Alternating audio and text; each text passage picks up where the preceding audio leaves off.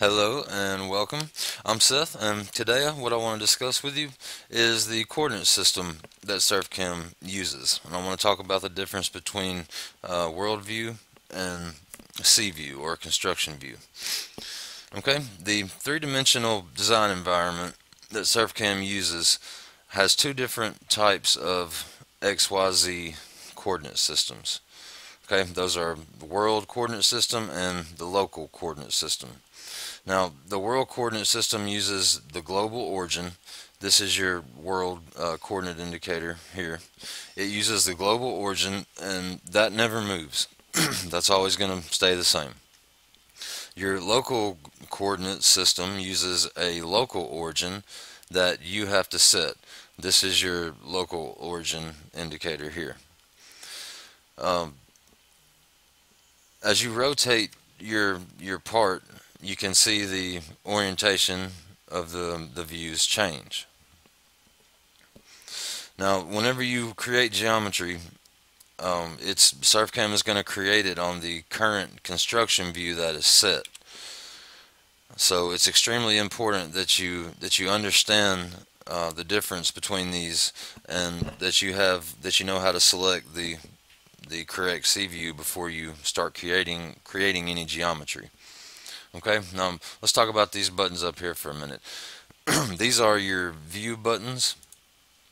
When you click on it, you can see that there's eight standard views in SurfCam.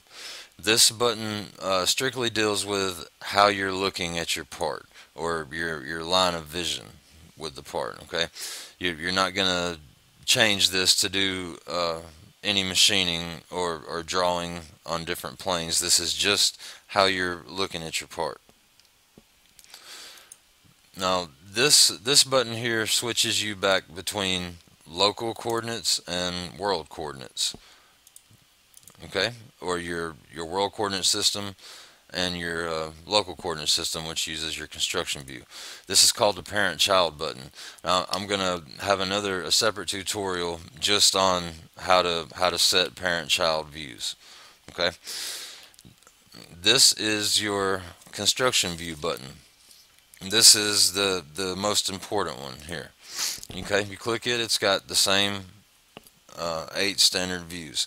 This one deals with the position and the direction of the local coordinate system, which is what you you will eventually have to change uh, in order to to put your part in a machinable state so that you can program it. Alright, so so just remember that this button deals with how you're looking at your part and the global coordinate system.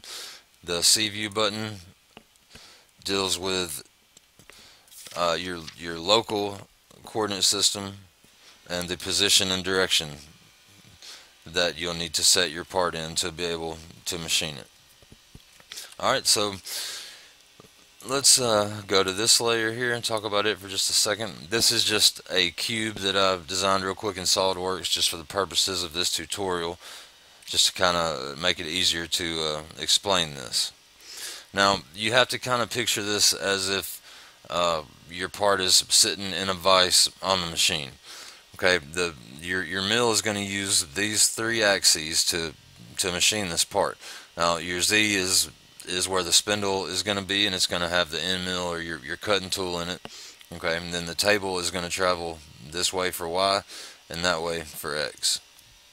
So, if you're a lot of times um, if you open up a part a model of a part, it'll be orientated in, in a weird, crazy way, and that's because uh, sometimes the the part models are pulled straight out of an assembly of a model of a whole assembly, and you know the person sending them to you won't take the time to orientate it how you need it. That's going to be your job when you get it. So a lot of times when you open up part files, they'll be you know in some crazy position off in space and it's important to understand this because you have to to have a good understanding of the views and how they work in order to orientate your part correctly so that you can machine it. Now there's there's two ways to do that. You can either physically rotate your part, which uh, I'm going to be covering in in an upcoming tutorial, or you can create a construction view to machine the part and what's what's neat about this button is um, when you when you set construction views it retains the associativity associativity between SurfCam and and SolidWorks. So if you bring a part in from SolidWorks uh, if you physically rotate it then it breaks that associativity. But if you create a construction view then it, it keeps associated with the with the SurfCam file so that if if the design engineers have to make a change, you can just go in SolidWorks and change it, and it will automatically update in SurfCam if your system is on a server. Uh, and uh, that's something that I'll get more into later also.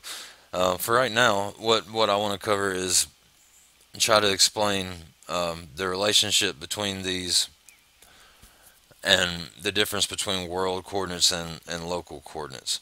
Okay, so right now my local coordinate system is what, what I'm going to use to machine this part and it's set 000 is set right here. Alright, and so down here is my world coordinate system. Now remember me saying this button only deals with how you're looking at your part.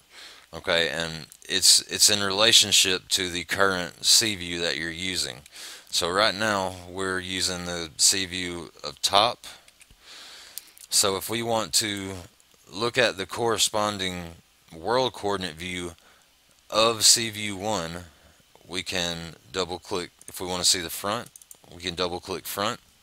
Now you notice that your 000 has not changed, it's still where it was to begin with, right there. Okay, now if you click front, it's going to change the view, it's, it's just going to change how you're looking at the part. That, that's it, it's just um, mainly for visual reference. Okay, all that changed is how I see it on the screen. So this is view 2 in relationship to construction view 1. And the same, if you just go down here and click these, all it's doing is showing you the view of the current construction view. It can be a little confusing uh, at first, I, I know it was for me. But uh, you just kind of have to, to play with it and and and you'll get it. Now this button is you can toggle it back between view coordinate systems and world coordinate systems. Okay so if I've got my my construction view on front then I can look at it in view coordinates or I can look at it in world coordinates now you see when you change your, if you change this from top to front, see how your uh, axis indicator here has has changed. Now if I if I if I this is world coordinates right here, okay. Now if I click this, it's going to show me view coordinates. See which is on front. Okay, if I put it on back, it's going to show me the back bottom, bottom. Now if you turn this off, it's going to go back to the world coordinate system, which we're, we're at top, top view right now. Okay, so um, top is the only machinable view. Then you got back, front, right side, left side, and bottom up there. So it's this button is all how you're looking at your part. This is how you would actually rotate the part if you needed to rotate it or create create a custom construction view. Now I'm I'm not going to get into uh, custom construction views until after we get through drawing 2D and and 3D geometry. Okay. Um, now I and in the very the very next upcoming tutorial uh, is going to be how to rotate your part. So you, now that that has more to do with views also. Uh, okay, and, and, then I'll have another um, recap on on understanding views after that because this is this is extremely important. You have to know this. You're going to need to understand this, um, and from now, from now out you'll use it.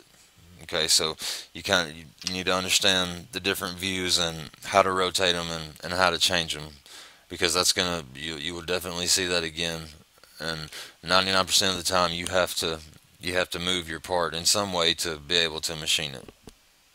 All right. Uh, thanks for listening. I, I hope I explained that where you can understand it and tune in for the next tutorial on how to rotate your part. Thanks. Talk to you soon.